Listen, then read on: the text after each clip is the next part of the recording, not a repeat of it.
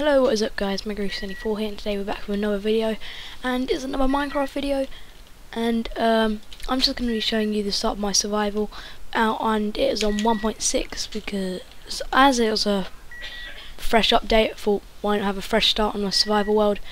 So, oh my god a moth just flipping landed on me. Um, yes yeah, so I'm just going to flipping show you what I've started with and what's happened so as you as you would have seen just behind me there, we have two horses.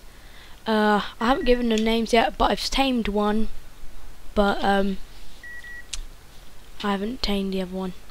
Well, I've just put it on a leash. Yet. Well, put a lead. No, yeah, a lead, and I put it on the post, just there. Uh, the lead doesn't actually show up, so that's a bit weird. So, and this is just my underground house here. I've just got a nice little bit on top here. Uh, so yeah, just go down here. Oh my god. Uh, oh god. So flipping. There we go. Yeah, we've got two chests here. One's empty and one's got stuff in it. Oh, whoops. And okay, we need to put some coal in there. Uh, so yeah, it's pretty awesome. Uh, what I might do actually quickly is set my spawn. Here we go.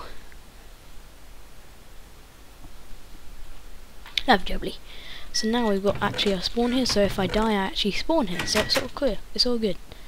So I haven't really gone proper I haven't properly gone mining yet, I just went down and got a stack of iron which was quite useful, which that's why I've got my iron tools and uh, full iron armour.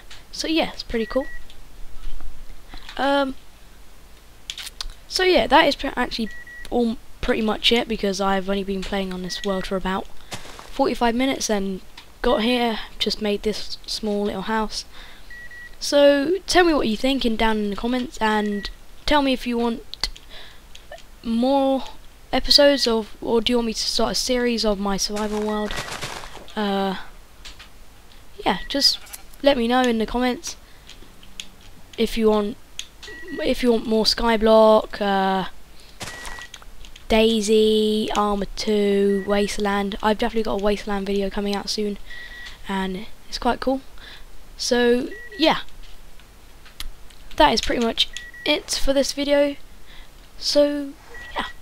Thank you for watching. Rate, comment, subscribe. Peace out.